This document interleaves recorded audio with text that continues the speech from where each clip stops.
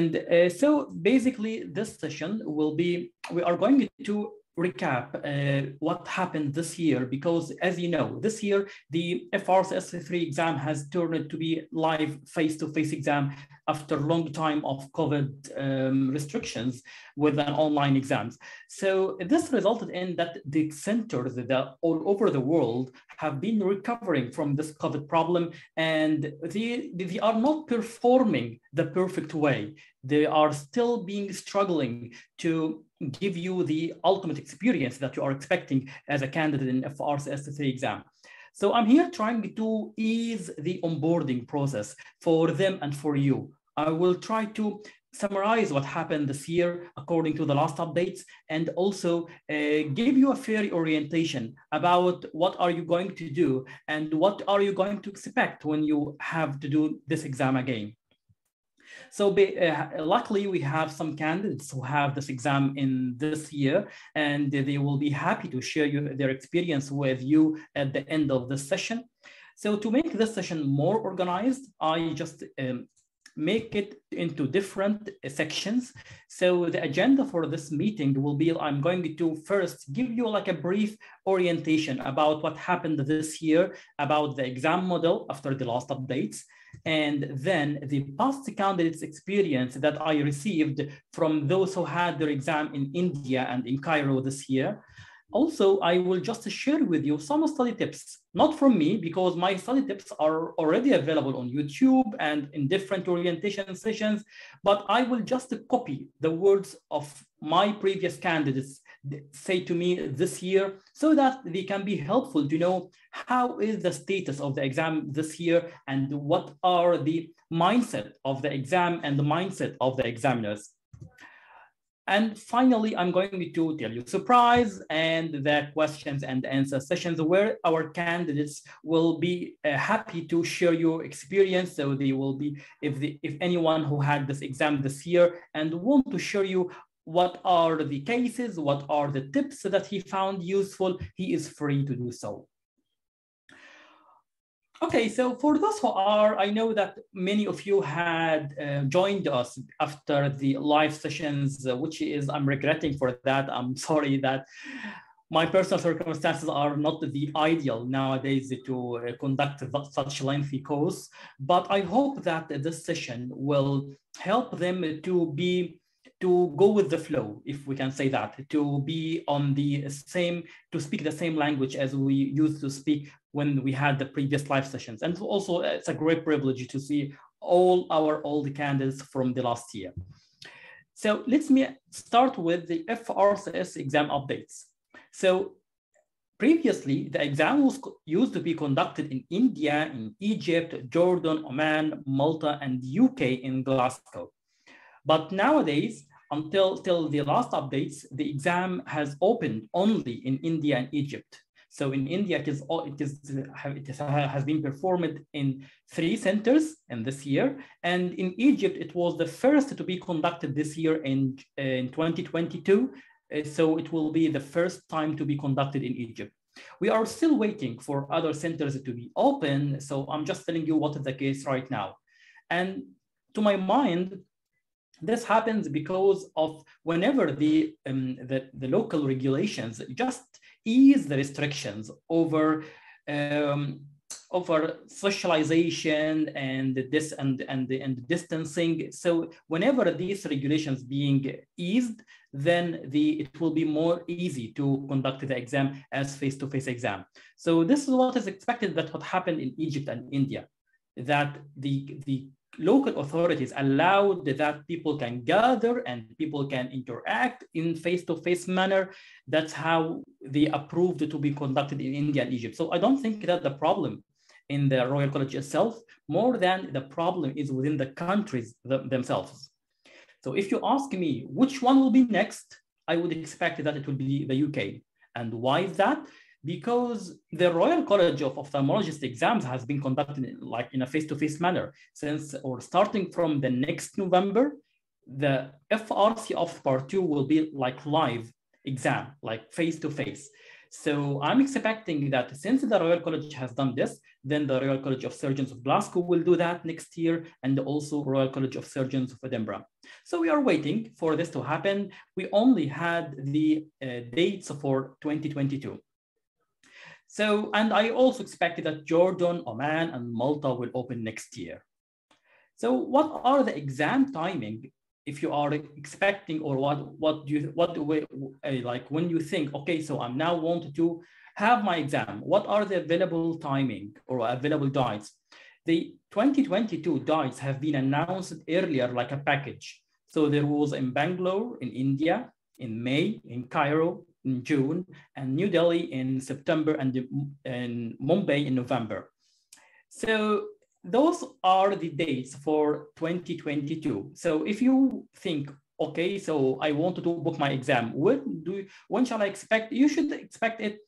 I believe that it will be by the end of this year. So they will open for 2023 uh. And you would know, don't worry about that because they will open like many dates and like eh, like if the news spread, the word spread everywhere, and you would be aware of that. But if you want to keep an eye on that, you always need to check their website because this is the only way you can find information about the exam timings. So the availability of the exam. This is also another question that you might think about. The availability of this exam is like 40 candidates per date. And this doesn't or hasn't it changed since it was live before the COVID? it was it has been always 40 candidates and there was always a, a, a, waiting list however nowadays the waiting list become more and more because of the uh, backlog of the previous candidates who had their exam postponed from the covid-19 so they according to the regulations they will have 40 candidates uh, per date and there will be another 10 candidates who are on their waiting list so that when one of these 40 will cancel or postpone their exam for any unforeseen circumstances, in this case, that will there will be uh, a compensation from these 10 uh, candidates of waiting list. However, to just it's worth mentioning that the priority will be always given to the backlog candidates but this doesn't mean that in 2022 there were no fresh candidates. I, I can confirm to you that there were fresh candidates who have been applying for the first time in 2022 and they had their seats secured in 2022. So don't get frustrated by the backlog. You will always be accommodated. Also,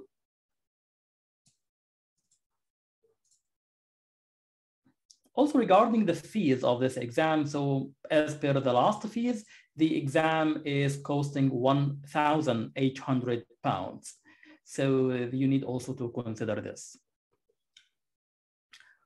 Okay, so these are the FRCS 3 exams updates in 2022.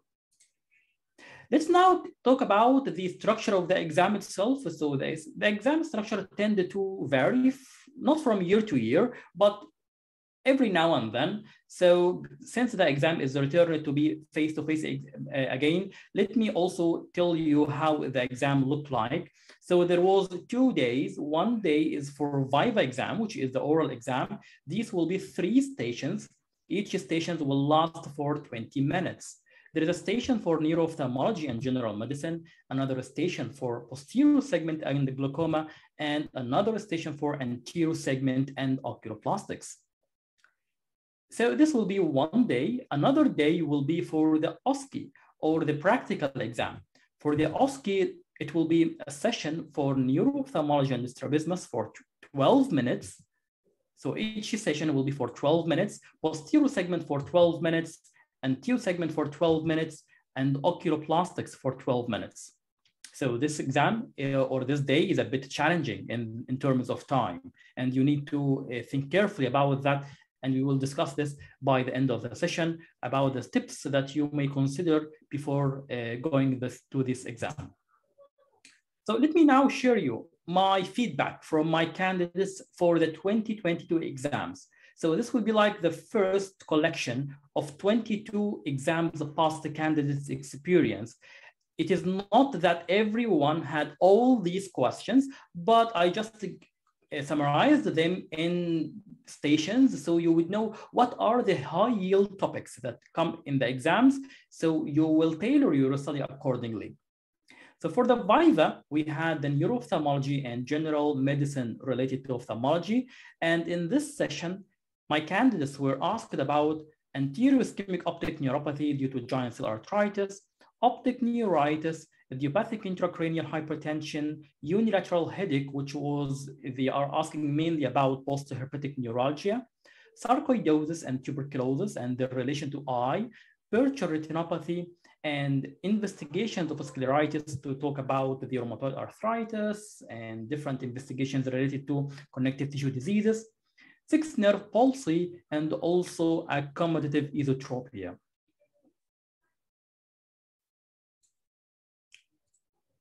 The second session is the posterior segment and the glaucoma. So in this session, the candidates were asked about the management of normal tension glaucoma, pseudo-exfoliation glaucoma, and myopia, a patient with myopia and vitreous hemorrhage and how to manage, a picture of Stargardt disease and how to diagnose, retinopathy of prematurity with risk factors, stages, when and how to treat, age-related macular degeneration, either the wet type or dry type, branch retinal vein occlusion, retinal detachment, choroidal mass and leukocoria differential diagnosis and differences between the nevus and CHRPE, the congenital hypertrophy of retinal pigment epithelium. So these were the VIVA questions for posterior segment and the glaucoma stations.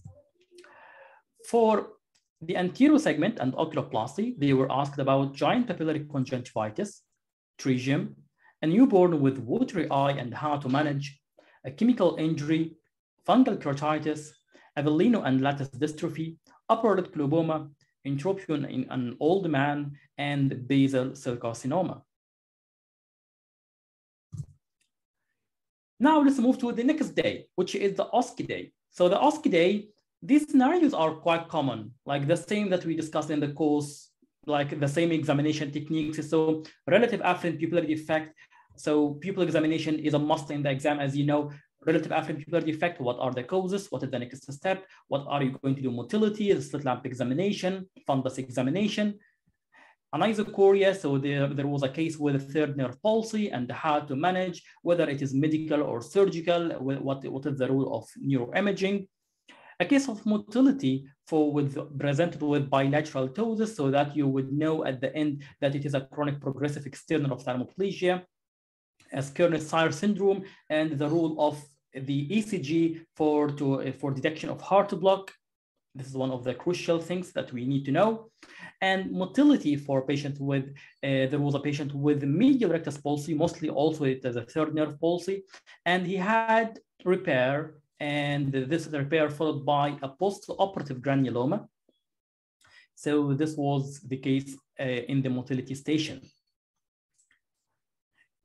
In the posterior segment station, there was a case about Stargardt disease also, and another case about macular edema with exudates so that you would uh, have been asked about differential diagnosis and management of diabetic retinopathy and different classes of the anti-VEGF. Also a case with peripheral neovascularization to check with the indirect ophthalmoscopy, branch retinal vein occlusion management, and there was a case to detect it by the indirect ophthalmoscopy, just the PRP scars, and there were no questions in this station apart from that. So just the PRP scars. For the anterior segment station, the cases are almost identical in every exam. There were this, I think this is, will be the considered the easiest one. So you will always have a graft in the in the exam. So the graft either can be you find a corneal dystrophy in one eye and then a keratoplasty in the other eye. So you would always, eh, whatever, whenever you have a graft, always ask to check for the other eye because the other eye will tell you the pathology in this eye. So it could be a dystrophy in one eye and keratoplasty in the other eye, or it can be keratoconus in one eye and graft in the other eye. So the candidate was asked about a young adult female with a keratoplasty. What is the type of this graft and why this patient had graft and then, then to the other eye, there was keratoconus with apical scarring and how to treat keratoconus in general or the condition in the cornea could be sometimes a pre-graft. Like pseudophakic bullous keratopathy. So you, you wouldn't be able to check for the corneal guttata in this eye. So you would ask for the other eye to check for the corneal guttata and you know the diagnosis. And it is unlikely that this will, the exam will show you hot cases. However, it can happen. Like for my, for example, in my exam, I had a patient with active herpetic keratitis in anterior segmentation. I had another patient with active or recurrent retinal detachment, fresh retinal detachment with vitreous hemorrhage in the posterior segment. So it is most likely that there is, will be no active cases or no active diseases, but you need also, or to say painful diseases, but this can happen sometimes. Okay, so this is for the cornea, mostly the same the same stuff. Now for glaucoma, you might you will find trabeculectomy to comment on the bleb to check for the causes. So you might find signs of pseudoexfoliations, of phacodonesis, and the questions will be about concerns for cataract surgery, as we discussed in much details in the course. And for tube uh, glaucoma drainage device with a patient with a circumferential iris atrophy and why it is not pigment dispersion syndrome because you know the difference or the different in pattern of iris atrophy. Another patient with uveitis who was like a young female with keratic precipitates and what is the differential diagnosis of anterior uveitis. So this was the finally the oculoplastics, which will be almost always a case of proptosis or a case of ptosis. And this is a, the, here is a very important thing I will tell you right now. So, so there was a case of proptosis asking about the examination steps and measure with the Hertel exophthalmometry because this patient had thyroid eye disease. Another patient, I was told by another candidate that there was a thyroid eye disease with traction. And then the, the candidate was asked to do measurements and to do the exophthalmometry. However, the candidates reported that there is no proptosis. And she told me that the, the examiners were satisfied from her answer. They didn't disagree. They didn't see that this is something wrong. And you see, and I can tell you that this candidate passed the exam. So this is a very important thing to consider here, that it is not always that you will find findings in the exam. Sometimes the patient or we can give you, um, tell you to do an assessment and the patient will be normal. This is normal. Please trust your skills, trust yourself. It is not always that you will find the pathology, okay? So sometimes the exams can get tricky.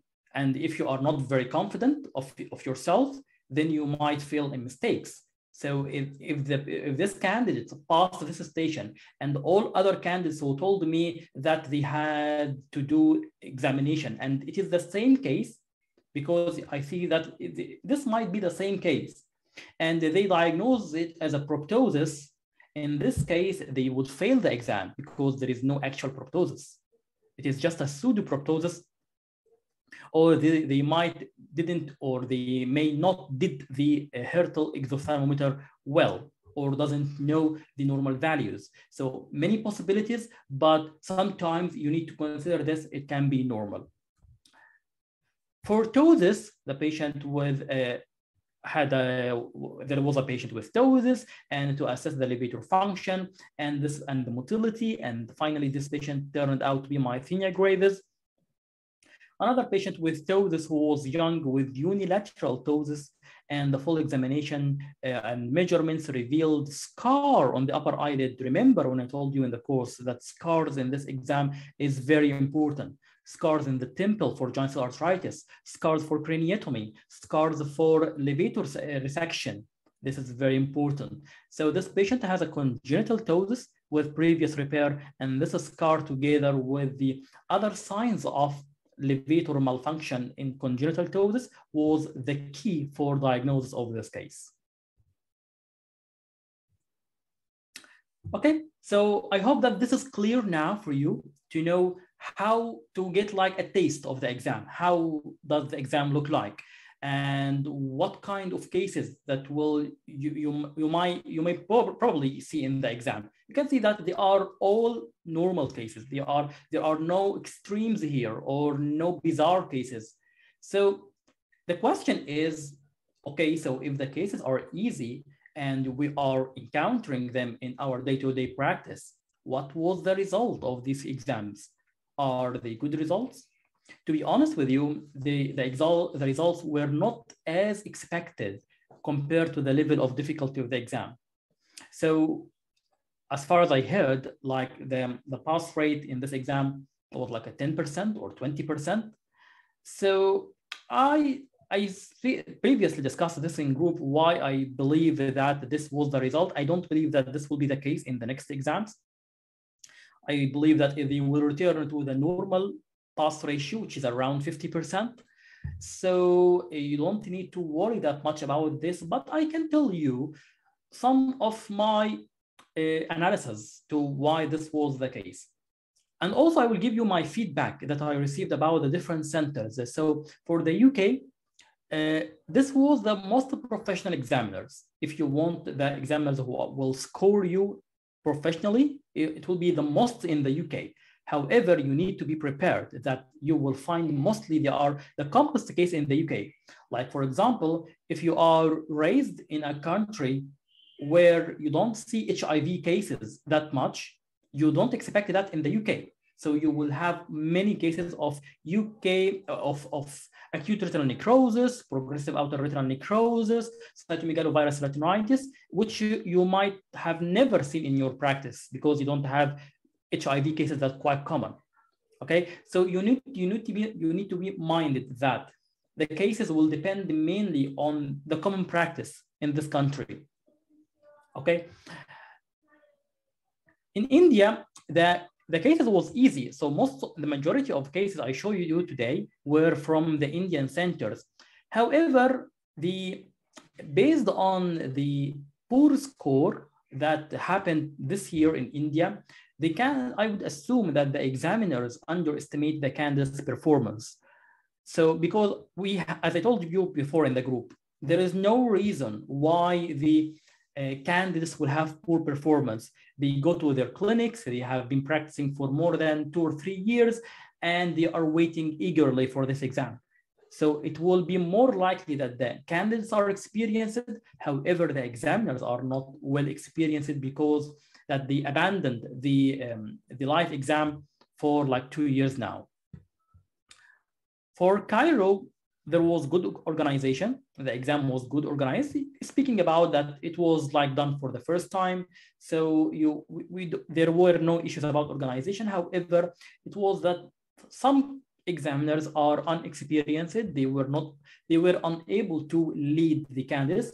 Of course, it is not the general rule. I'm saying that there are some examiners who were unexperienced and unable to lead. And also the pediatric exam was tough. So I would, because I was like trained in Egypt, I would know how it is difficult sometimes to deal with pediatric population. I think this is the case with every country. So children are unpredictable. So like when there was like a candidate who had been examined on three kids um, with the language barrier, with the and with different the culture, you may not be able to handle the kids so you need also to think about that. The Jordan exams are tend to be some, sometimes complicated conditions or conditions with double pathology. So I don't know why that, but for for for for Jordan, they love to bring some cases which are a little bit rare or a little bit uh, strange, and uh, also the examination devices like slit lamps were not of the best quality. So also you need to be aware of that. So these are the commonest exam centers that I received feedback about them. So now let's uh, let me tell you more about the grading system. So you you would know if you fail in a case or a fail a station, because I received this question almost every day and from all candidates. So they would tell me, okay, I feel I didn't do well in this case. Would I fail the exam? So you need to have clear mind about the grading system. So there are five grades of each case. Every case or every station is graded by two examiners. Each one of the two examiners will give you a score.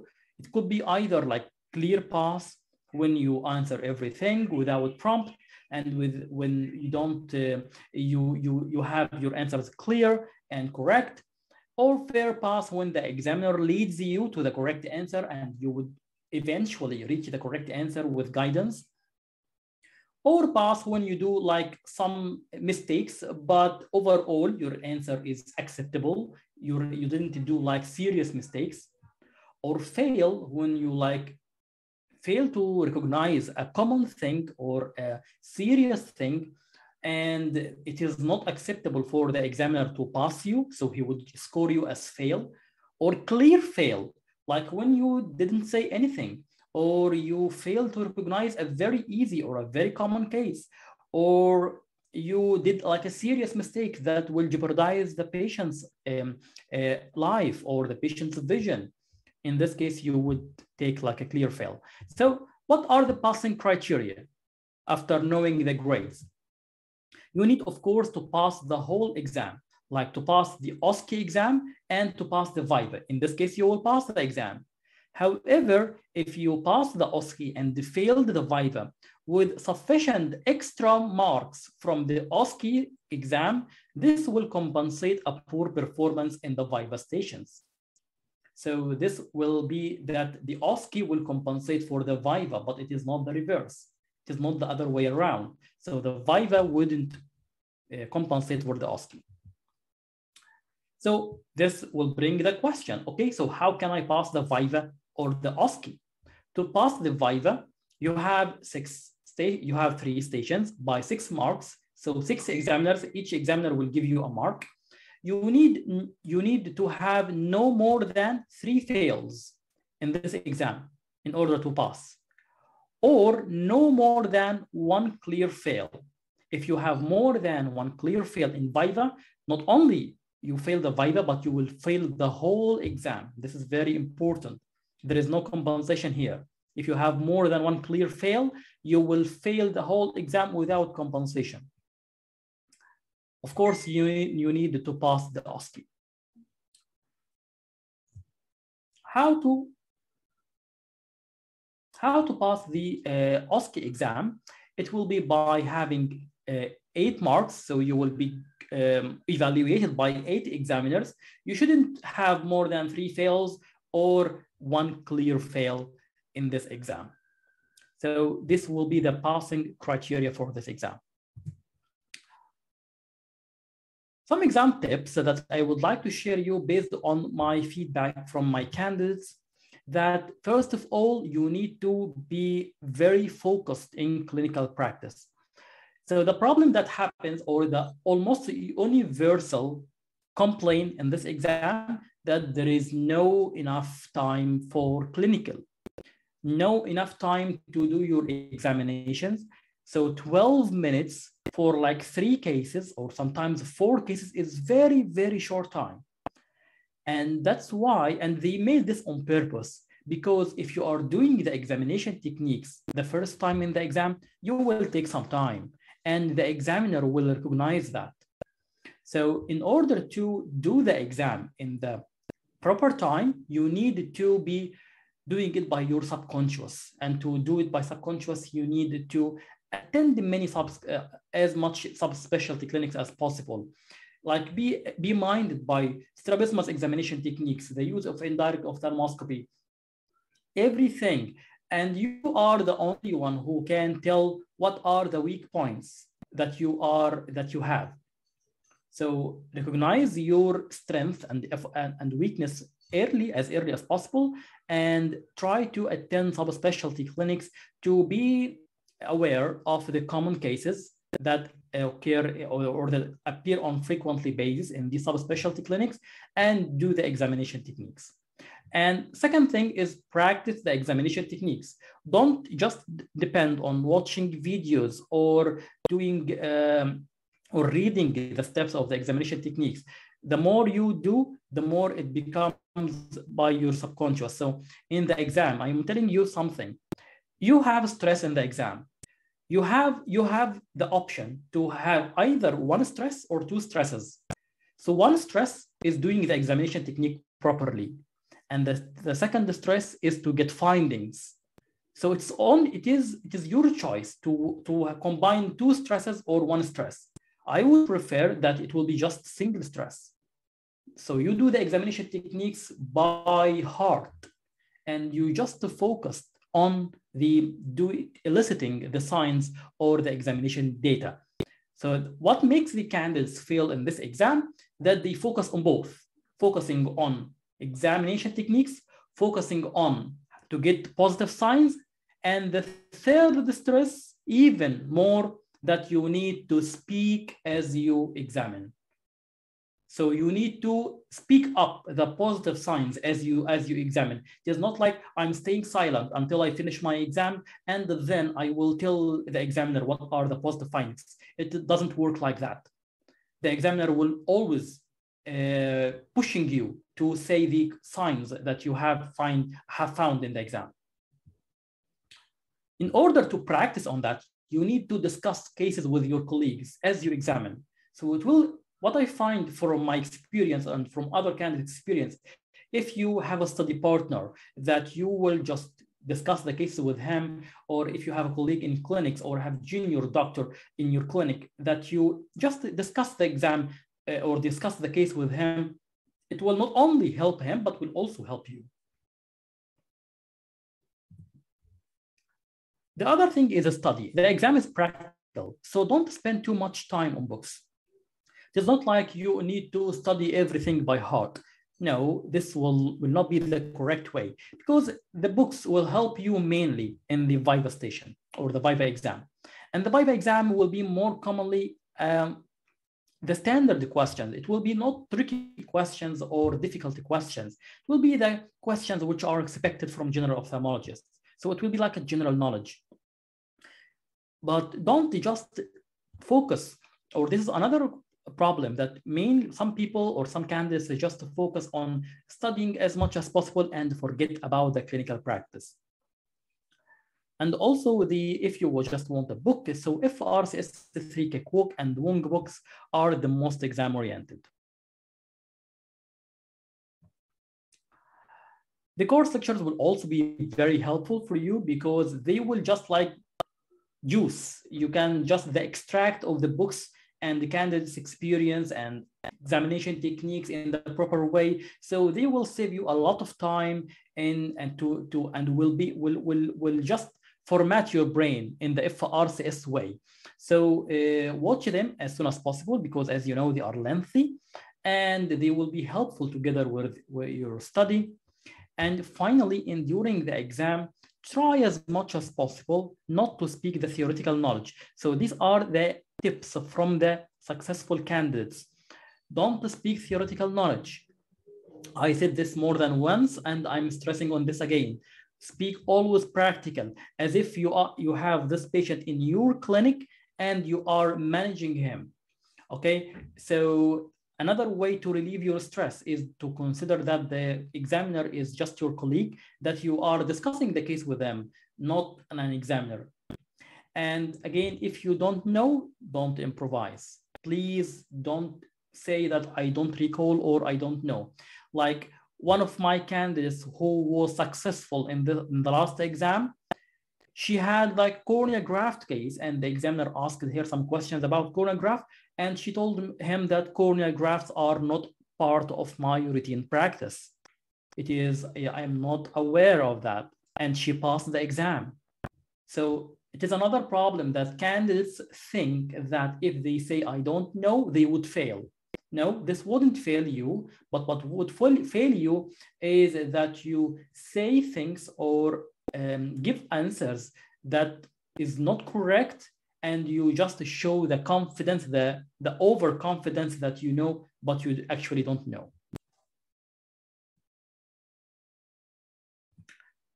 Finally, I am just telling you the surprise that I'm preparing for you uh, this for this session. And this was surprise was the request of many of you, almost all of you. It will be that we will conduct the mock exam. Yeah, finally, we I'm very pleased to announce to you that uh, I'm going to conduct a mock exam for the FRCS3. Uh, so the for and you might think why the mock exam and what is the value? I think that all of you know why mock exam is important.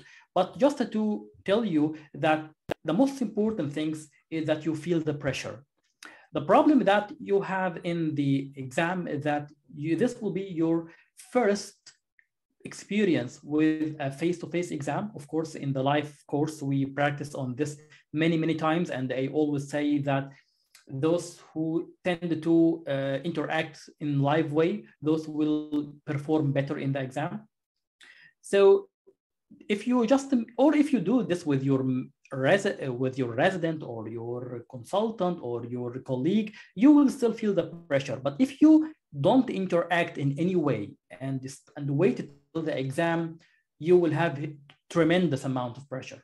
So what is the purpose of this mock exam is to feel the pressure of the exam because uh, not in order not to feel the stress because this is the most complaint of the exam that it is stressful. The second importance of the mock exam is to get a personalized feedback on your performance. So every one of us has different needs and different strengths and weaknesses. And sometimes you are not aware of that and you need some guidance. You need someone who tell you what is your strength points, what are your weak points that you need to work on in order to pass the exam. And also that you can ask questions like get personal assistance regarding confusing area in the exam. So you would sometimes when you what I I always receive my from my candidates. Okay, I do I didn't pass the exam and I don't know why um, um, some, um, unfortunately, I wasn't with you in the exam to tell you, but if in the mock exam, if you uh, if you didn't pass, I would I would be able to tell you what is the problem. So you can ask why I didn't pass or what is the answer of this and that. And finally, be ready by working on your weak points before the exam. So if you just don't have this um, guidance or personalized feedback, you will be uh, you will be like studying everything and not focusing on your weak points, and this will make you lose much time, and of course that will uh, affect your performance in the exam. So this mock exam, this will be like live one-to-one -one session, and this will be like huge pressure not only on you but also on me. And that's why I was trying to like push back, push back the mock exam as much as possible. But eventually I would know that I need to do it, even though that it is very time consuming, will be very pressurizing my time. But I know, I know that it will help you a lot. And the duration, it will be like two hours per each candidate. So uh, that's why it will be like too much pressure not only on you, but also in me. Like, I don't think that I would be able to do this by more than one candidate per day. So yeah, this is the way it is. It will be online, live on Zoom, and it will be on September and October 2022. So this will be basically preparing the candidates who are applying for um, India exams in, in September and in the 1st of November. The terms of this exam or this uh, mock exam is that it will be based on the first come first serve basis. So it will um, it will have very limited capacity depending on my time, and there will be different levels of support that wherever whatever you want to just to do the exam or to do the exam with a personalized feedback. So this will be all available. And of course, our candidates will have a special privileges with reduced fees because, you know, when I tried to just to search about the mock exams, I would find that it's just quite expensive. Like in London I-Course, it will just charge like around 700 pounds, which are around $900 for mock exam. I understand that. I understand how much difficulties that they will in, encounter during preparing it. It is not an easy task. But as you know, we always do things which are of much better quality and much, much lower fees. So we will try to make it as affordable as possible.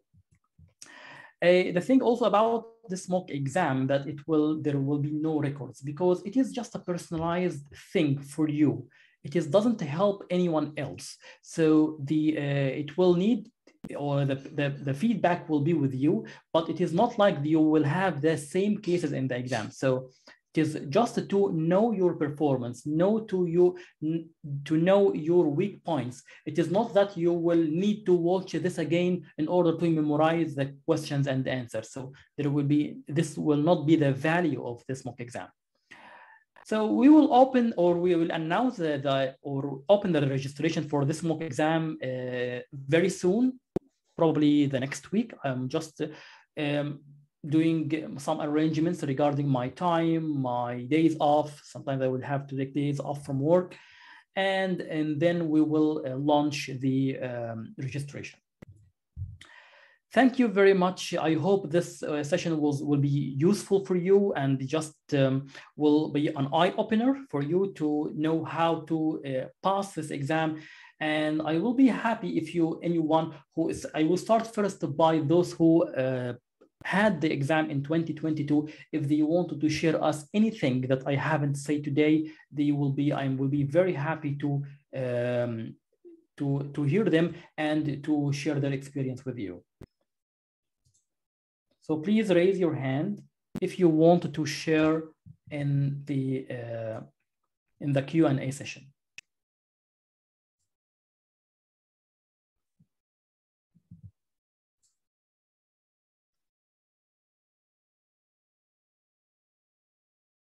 If not, if, if no one wants to share any extra thing, then you, all of you are free to ask whatever questions you want.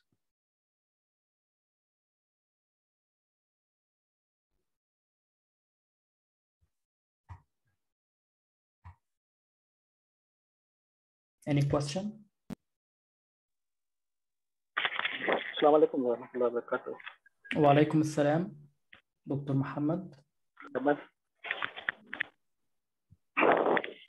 So Dr. Muhammad Hello. has, has been always one of the active and interactive candidates every time, every session, whatever it is, scientific or an orientation session.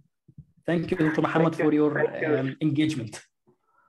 Thank you, thank you, Jazakallah khair, and uh, thanks a lot for your this orientation lecture. And uh, uh, really, I appreciate your uh, effort, your struggle for uh, being with us uh, most of the time, and you are very much helpful for us whenever we need, and you are always there.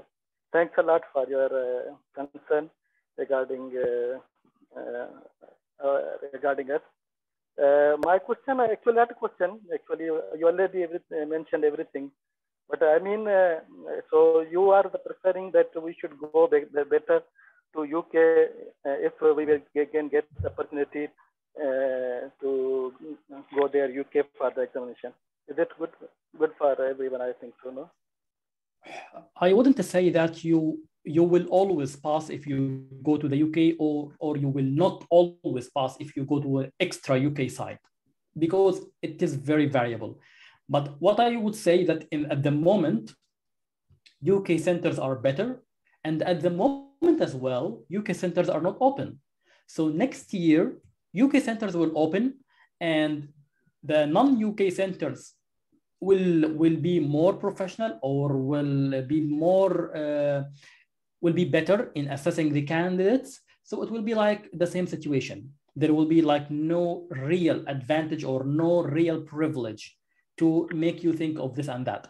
So what I would say that if you have the availability to go for the UK as a first option, okay, go for that. If not, don't wait for the UK because you don't know where you will you pass. Okay. Okay. Thank you. Thank you. And personal question that uh, you are going to be more younger and younger. What you are eating nowadays? What are you what? Eh? I couldn't hear that. You are, doctor. You are going to be more younger and younger, looking more handsome. Uh, so, when you finish your FRCS three exams, you will getting more and more younger. You will get relieved out of stress. thank you, thank you, Jazakallah. You're welcome. Okay, so you have many questions in the chat box. Let me just check that. Uh, who are eligible to give FRCS 3 exams? Those who had already passed the FRCS 2 or the ICO clinical, those who are eligible to apply for the FRCS 3 Glasgow exam. Question, all these informations was about FRCS Glasgow or Edinburgh? No, they are about FRCS Glasgow because FRCS Edinburgh will still open the next year with no any information about it. So all informations regarding the FRCS Edinburgh exams, all parts are now withdrawn from the, website because mostly they will change everything. So we are just waiting for their announcements. Does it matter if the speech is grammatically correct in the exam? No, doesn't matter at all. Just make your words understandable your voice is clear. This is the most important. You need you don't need to be fluent or your um, your language will be perfect or with the English accent or with the British accent or uh, grammatically perfect. No, this is not an English test.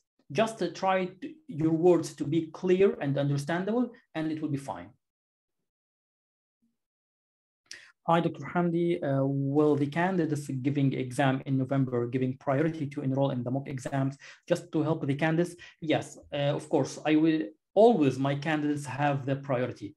So um, if you are, you are all, uh, I didn't announce this session to um, our to different people or or for general because I give you the priority. So it will be the priority to enroll in this mock exam will be for my candidates, this will be the first thing. Also for those who will apply for the November and uh, September exams, okay? Uh, how many times your part three exams is conducted?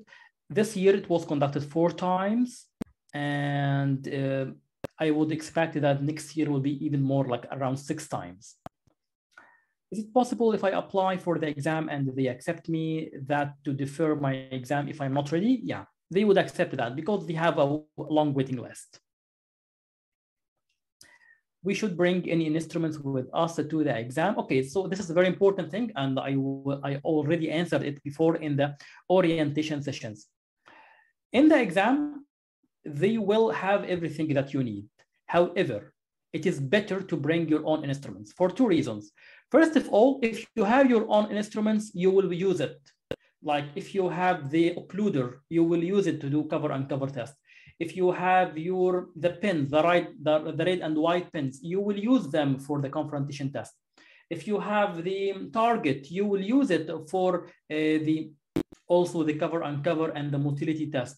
But if you don't have them, you will not use them. So it is just it is not about the exam. It is about that you are not practicing.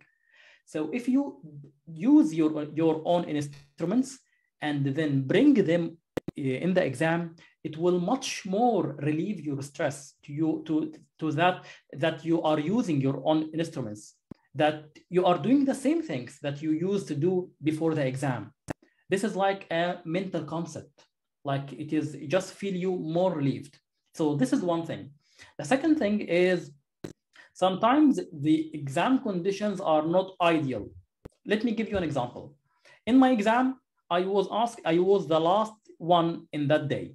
So the patient had their pupil closed because he was dilated in the morning. And by the end of the day, his pupil become closed. And I was given a 78 diopter lens and has been asked to check the macula or check the patient. And it was a case of retinitis pigmentosa. So you need like more white field. And as we know, the 78 diopter lens will give more higher magnification. So I was struggling to use the 78 diopter lens to check the patients with a, like a small pupil. But I, I, found I, I managed to uh, check uh, the, the bony spicules, so I did know the diagnosis. But what I'm saying is that when you have your instruments, you have your fundus lens, then you are you are uh, more prepared for the exam. Not like if you don't if you have like used their fundus lens you might find it like scratches or unclear for you or you are unfamiliar with it. So try to be prepared with your own things uh, Dr. Yasmin, will you conduct a general case uh, discussions live? Unlikely. This is, will be very unlikely due to the, the time constraints and due to the length of the course. Uh, okay, so this is the case. In the Viva and OSCE bundle, there is a new simulation clinical course added. Could you elaborate? No, it is was just that the uh, the clinical and Viva and OSCE bundle is consisting of two courses, the clinical examination techniques, because some of our candidates asked us for that only, and the cases simulation, which is basically the one-to-one -one discussions. So there is no new courses here. It is just that the Viva and OSCE bundle is now divided into two courses, depending on everyone need. Dr. Kinana, uh, is it possible to have the mock exam later after the beginning of next year? Of course, it will be repeated next year, uh, depending on the dates of the exam. So when the Glasgow Royal College of Surgeons of Glasgow announce the new dates in 2023, we will announce also the new dates for the mock exam. Dr. Kumar, is there any preference for candidates who passed FRCS Part 2 Glasgow in allotting the date over ICO candidates? No, I don't believe so. If past ICO clinical, can you directly give FRCS3 exam or you need to have a minimum years of clinical experience before you are eligible to give FRCS3 exam. They will expect that you will have at least four and a half years of experience after internship, which are the required for FRCS2.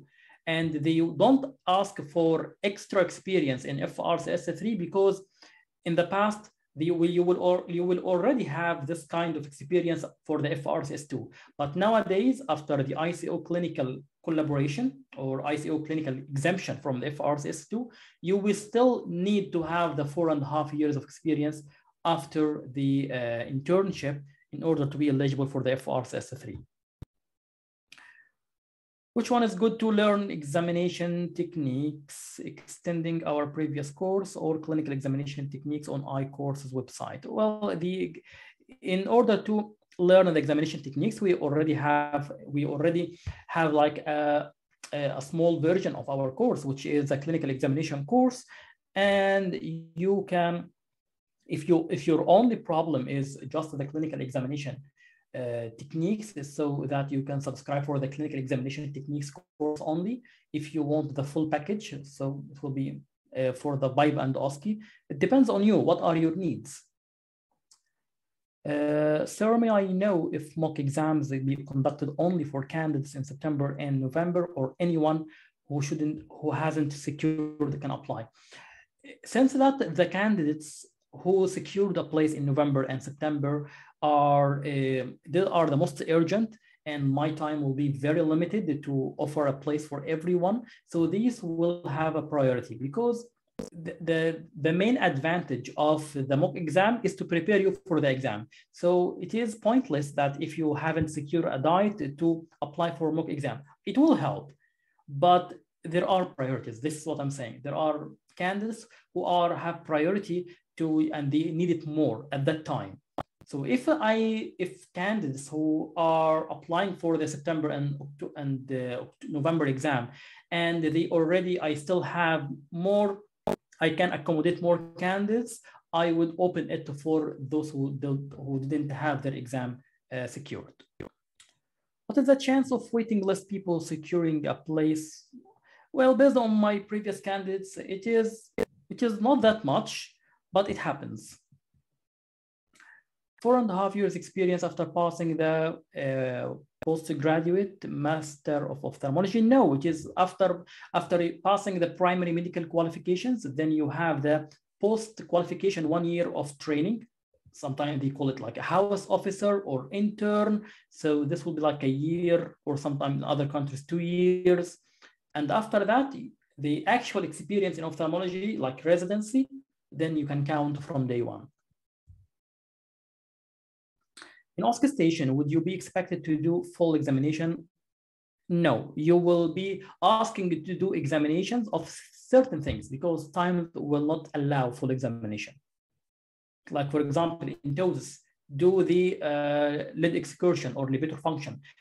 In ptosis, do the Hertel. So they will just know uh, or ask you, what will you do?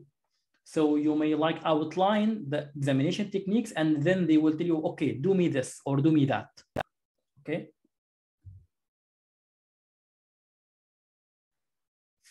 For Europe centers are only in UK. Dr. Ihsan, I didn't understand your question.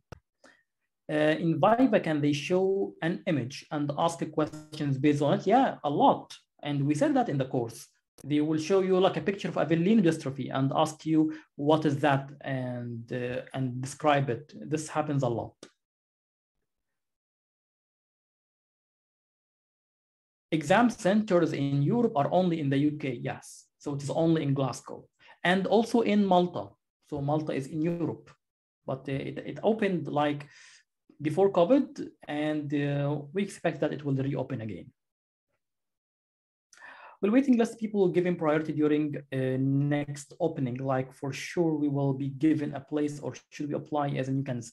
No, you will need to apply as a new candidate waiting list people don't have a priority because it is not that you uh, earned it. They are just put you on the waiting list. Like it is not like you applied early, so you they put you on the waiting list. So it will be the same say the same thing when you when it is reopened again. There is no guarantees here.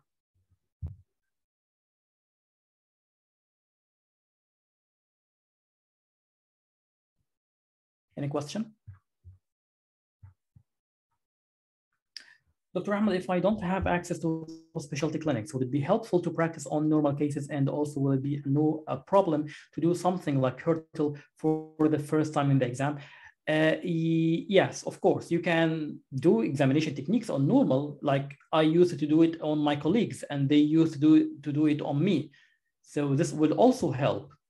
Uh, in the Hertel, if you, if it is possible, try to get a place with Hertel and do it because yeah, when you do it for the first time in the exam, it will be discovered. They will know that you will do it for the first time. So try to get access to hospital who they have Hertel or a clinic which have Hertel. It will help a lot.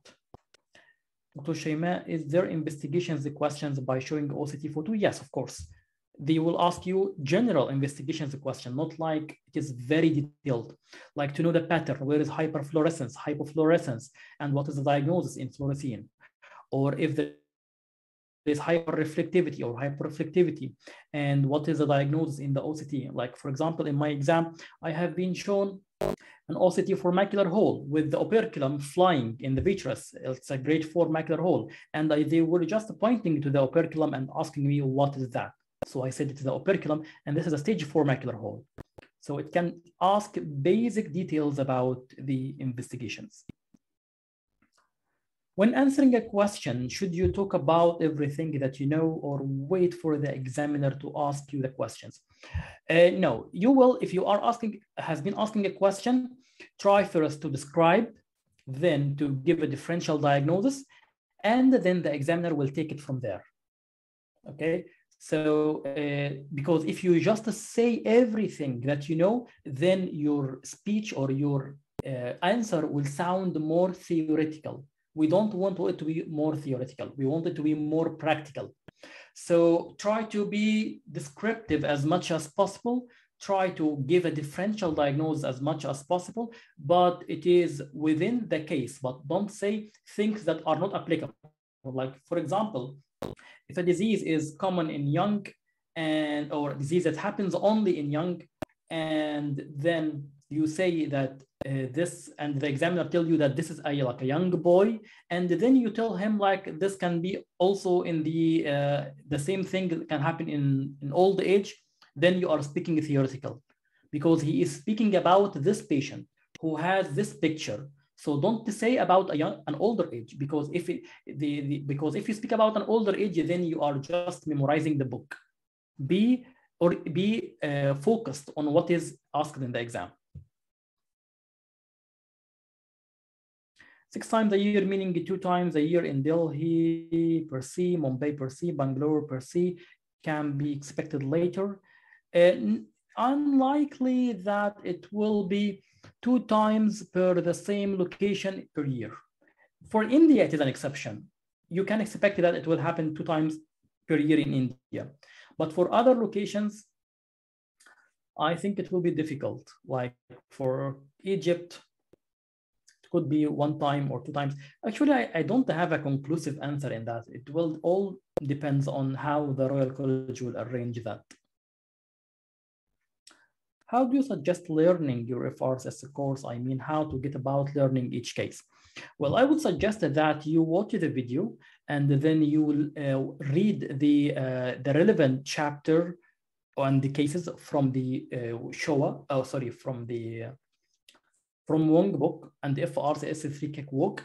And if there is examination techniques, try to practice them on a patient better or normal individual. And then you are progressing in the course. So this is the, the best thing. Just listen to it, read it, and practice it.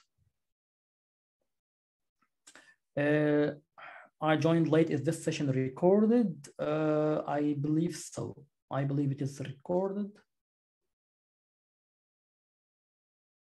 And I think that it is recorded, yes. Uh, sir, any idea of when the diet will open approximately? I believe they will open by the end of the year. So mostly you will, you will expect that in the first three months uh, in 2023, there will be a diet. So in the first three months. How many months before our date of first exam should course be joined? It depends on you. Like if you, how many hours per day that you can study? Can you study like two hours per day, three hours, six hours? Among you have some candidates. One, uh, there is a candidate among you, Dr. Mahmoud Ashur, who told me that he finished all my videos, all the course in less than two weeks. Others, it may take them like four, uh, four months. So it depends on how are dedicated you are, how, how free you are, how is your schedule is tight or not. So it depends on how you live like two, three, four, six hours. You are working part-time, full-time, or you are totally free. So no single answer for everyone.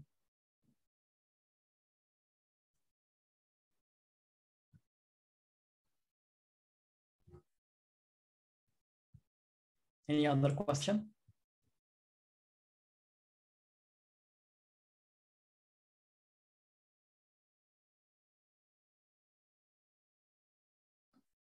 Okay, so I think this will be the end of our session. If you have any other question, please share in the groups so that we can uh, we can discuss this uh, later on. Uh, thank you very much for your attention, and I hope that this session is beneficial for you, especially for those who joined us late. Uh, hopefully that you have now more clear concept about how would you proceed in your preparation. Wish you all the best in your exam and good luck. Thank you very much.